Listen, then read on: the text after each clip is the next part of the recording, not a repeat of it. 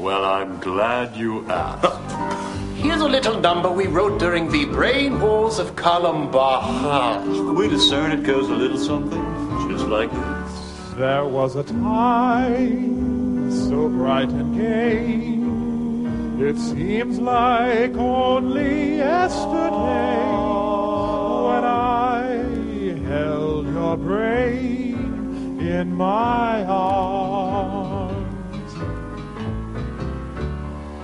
Your adrenaline was like wine.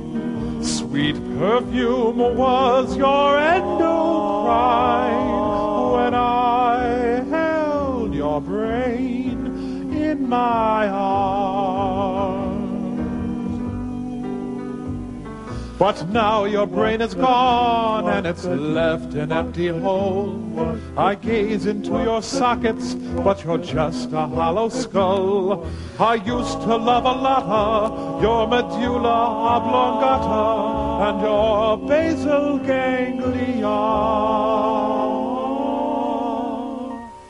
I remember we would stroll along your fissure of Rolando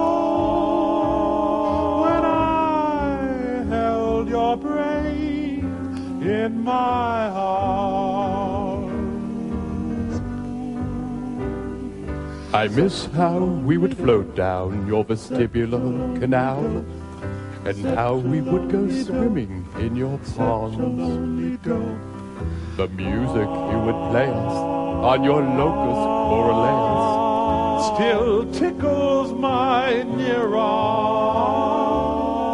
Now I'm sorry that I dropped you, that I accidentally plopped you when I held your brain in my arms. It caused a contusion when I held your brain in my arms during suddenly Susan when I held your brain in my arms.